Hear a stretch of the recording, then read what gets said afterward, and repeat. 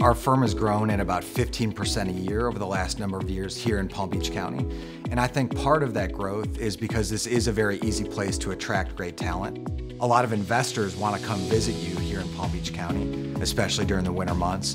Another thing that's really important is the amount of time you can actually spend with your family. And I feel like versus communities maybe in the Northeast, uh, where your commute's pretty significant, here, uh, and I can talk personally, my commute is five minutes to my office. And so I can spend more time with my family and also more time at work. You can actually be more successful as a business, make more money, and spend time with your family. And I, I think that's a pretty unique combination.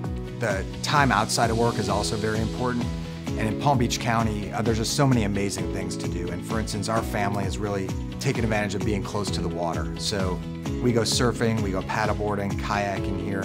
I also love to golf. Um, I love to do things outside, and every day, year round, you can do that here. And, and to me, that's really important. There's so many cultural venues here, so many national, whether it's exhibits or performers that come down here, and it really feels like a major city, but in a smaller environment where the quality of life is better.